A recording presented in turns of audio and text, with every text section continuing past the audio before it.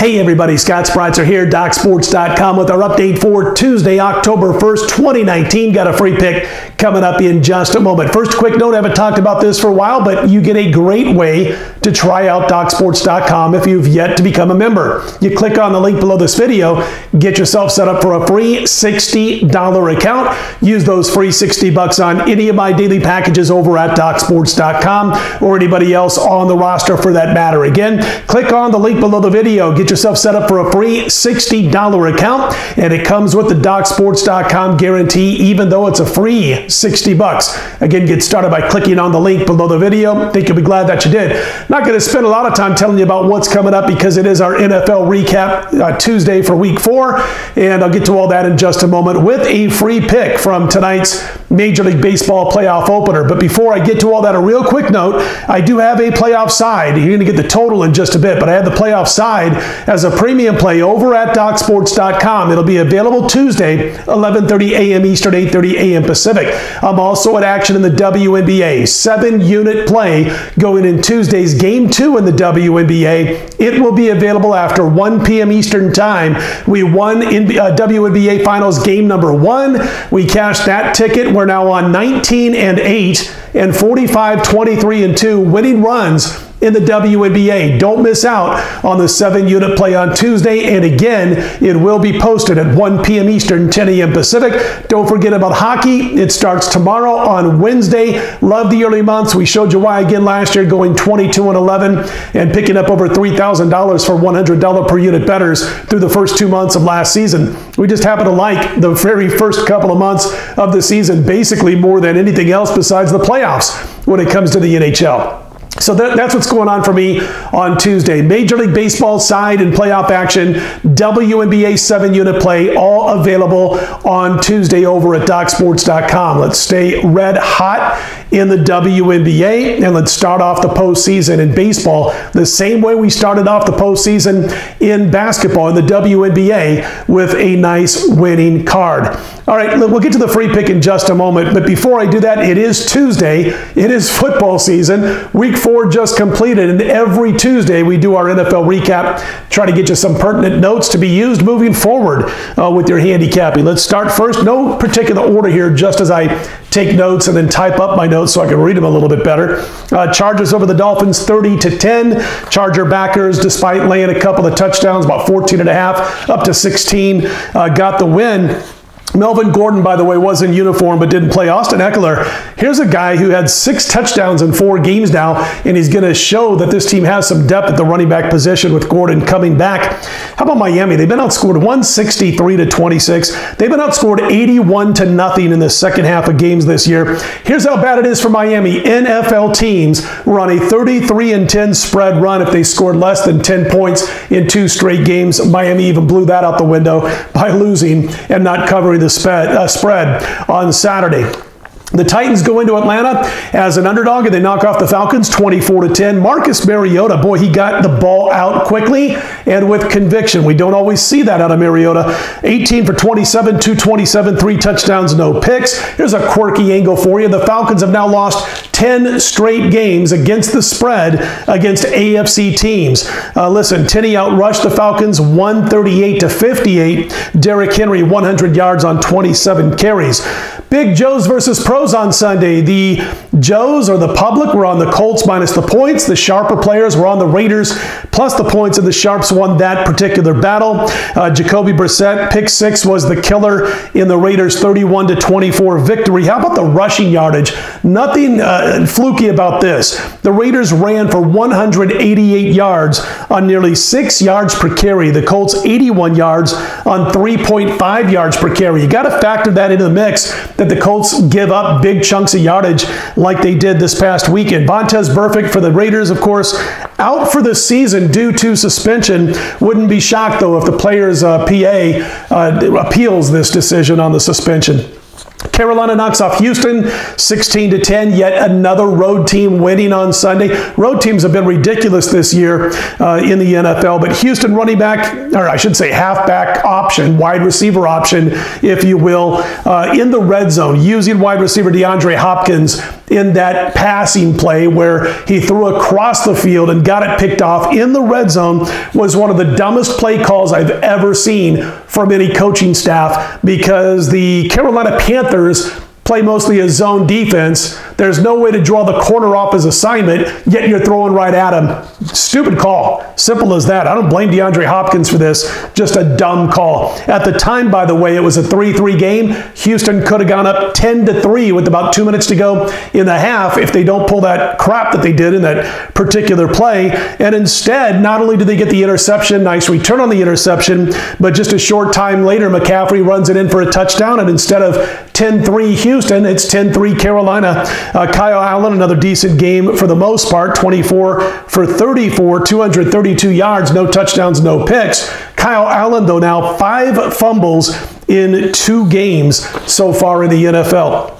Redskins lose to the Giants 24 to 3. Danny Dimes, Daniel Jones, scanning his reads well when you watch this guy play. He goes through his progressions. He doesn't rush. He doesn't look to run too fast, although he can scramble and run. And then, of course, you had the flip side, Dwayne Haskins coming in for the Skins and looking like he's got no business being on an NFL field right now. 9 for 17, 107 yards, and three interceptions. By the way, D uh, Daniel Jones, He's played in two favorable spots so far for the Giants. He's got an angry uh, Vikings defense coming to town next. We'll see how he fares there. Uh, the Seahawks knock off the Cardinals 27 to 10. Seahawks get the cover. Russell Wilson, nice day, 22 for 28, 240, a touchdown, no picks. His tight end Will uh, Dissly has become a favorite of his. Seven grabs, 57 yards, and a touchdown. And then Chris Carson had the big day running the football. Uh, big difference in this game as far as who was going to eventually cover the spread. Pick six by Clowney, uh, who picked up a Kyler Murray pass, returned it for the score. Kyler Murray sacked four times. Uh, he had nowhere to go all game long, by the way. Cards are now 3 and 12 against the spread against teams that average at least 235 yards passing per game.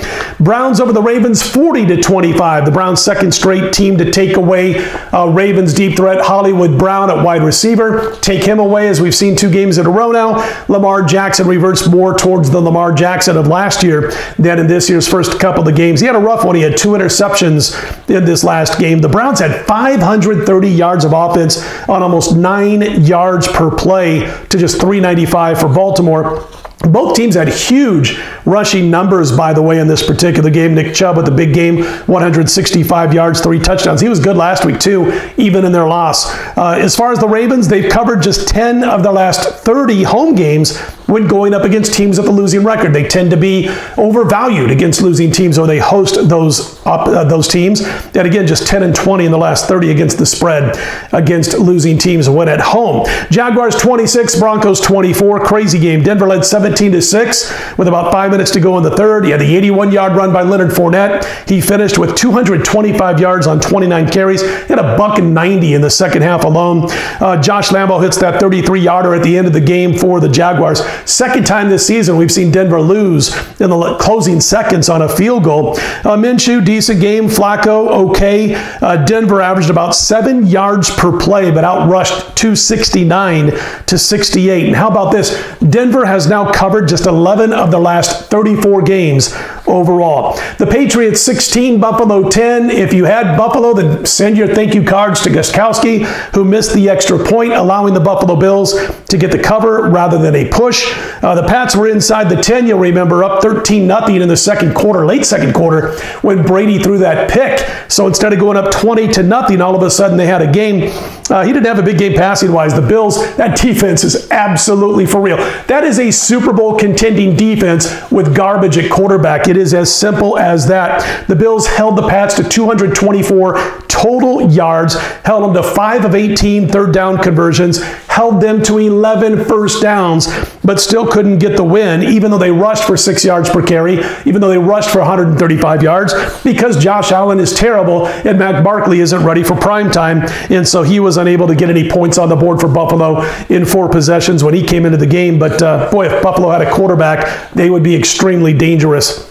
Chiefs over the Lions, 34 to 30. Matthew Stafford did play hurt. Give him a lot of credit. 21 for 34, three, uh, 291 yards, three touchdowns, no interceptions. He was sacked four times by KC. He had the fumble inside the KC 10 uh, when the game was tied at 13. Chance to take the lead there. Couldn't do it. That was in the third quarter. Kerryon Johnson has the fumble in the goal line. Controversial decision by the refs, the replay, all that kind of crap. And instead, it ends up being a 100 yard fumble return the other way. KC gets the score. So Detroit really did shoot themselves in the foot. And Golladay standing there watching uh, the kid for KC pick up the football and run 100 yards.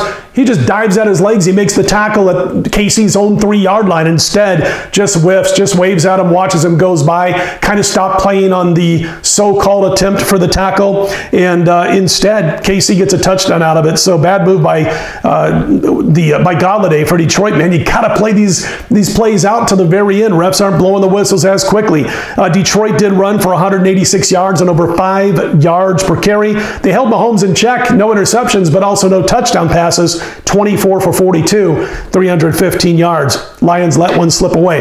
Bears 16, Vikings 6. You know about Mitchell Trubisky. He's hurt, not going to be playing, out indefinitely with the shoulder injury at last check. Chase Daniel comes in. He knows the system as well as anybody on the team. 22 for 30, 195, a touchdown, no picks. He will be your starter for the Chicago Bears. Story of the game, though, the Bears defense. They held Dalvin Cook to 35 yards on 14 carries. The Bears had six sacks in the contest. Neither team was able to run, by the way, for that matter. Both teams averaged under three yards per carry.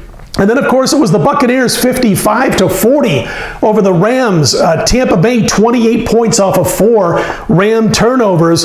And listen, uh, Jameis Winston played well for the most part 28 for 41, 385, four touchdowns, only one pick. The public was on Los Angeles. The Sharps were on Tampa Bay. Sent that line from 10 down to 9 in some shops. Shaq Barrett, one of my favorite defenders, and he plays for the Buccaneers, had nine sacks so far uh, through the first few games of the series uh, of the season, I should say now, uh, just getting to the quarterback left and right. Goff now, by the way, going back to the Super Bowl loss to New England when they kind of laid the blueprint on how to defend the Rams game. Well, he's now got six touchdowns and seven interceptions in five games going back uh, to the Super Bowl loss. Sunday Night Football was our top play of the week. We had the Saints, and they got the win over Dallas 12 to 10. Dak Prescott, after just playing lights out and that offense playing lights out first couple of games of the season, well, they go into New Orleans they got completely shut down. Saints get the win 12 to 10 on Sunday night. Just completed. Small play for me on the Bengals, uh, but a loss obviously nonetheless. Pittsburgh 27 to 3. They outgained Cincy 326 to 175. And I'm not saying any way, shape, or form that Cincy was the right side. But once again, they blew several chances to take an early lead, go up 10-3, 10-0, couldn't get the job done. Turnovers deep in Pittsburgh territory.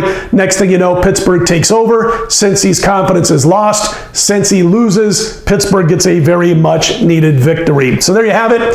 Six-unit play was a winner with the Saints. Unfortunately, three-unit play last night lost with the Cincinnati Bengals. But those six unit plays, by the way, now 4 0 in football so far in 2019. All right, don't forget on, we'll get to the free pick in a second, but don't forget on uh, Tuesday, 11.30 a.m. Eastern is when I post a baseball play. It's a side, the premium play for Tuesday night's opener in Major League Baseball playoff action. Brewers taking on the Nats, and also WNBA, seven unit play as we look to go to 20 and 8 short term, 46 23 and 2 long term in the WNBA. And again, that seven unit play will be posted on Tuesday 1 p.m. Eastern Time. Let's get to the free pick. We'll make it quick. Again, the Brewers at the Nats. It'll be Woodruff for Milwaukee, Scherzer for the Nationals. Should probably be a short start for Woodruff. I'm guessing around four innings of action. Uh, but listen, this team, the Brewers, has been really strong at playing, or I shouldn't say they have been strong, but their opponents have been strong at forcing overs when Woodruff is on the mound. Four uh, they, have gone over the total with uh, Woodruff on the mound against teams with a winning record, is what I'm trying to say here, more often than not of late. So when he goes up against teams with a winning record, the Brewers games usually get over the total without much trouble. As far as Scherzer is concerned, when you look at what he's done, four of Washington's last five with Scherzer on the bump have seen the over cash, and the, the, the Nats themselves have played to four straight overs going up against right-handed starters. Listen, if Scherzer, Scherzer Scherzer's pitching well, he's going to be in for the entire game. We don't know if he's going to be there. His ERA has not been quite where it's at uh, since coming back from the injury. As far as Woodruff, probably again, three to four innings is what you're going to see out of him max. But we like for a free pick the over between the Brewers and the Nats. Tuesday night's uh, opener in Major League Baseball playoff action. The side is available 11:30 a.m. Eastern over at DocSports.com. All right, listen, that's going to do it for us for Tuesday. On Wednesday's video, it'll be shorter, uh, but again, we'll have a free pick from Wednesday's card. Don't forget about the NHL starting on Wednesday. Also, if you like the videos, click on that thumbs up button. Be sure to subscribe. I do appreciate those who have done so thus far. I'm Scott Spreitzer, DocSports.com. Let's put Tuesday in the win column. We're right back here Wednesday morning.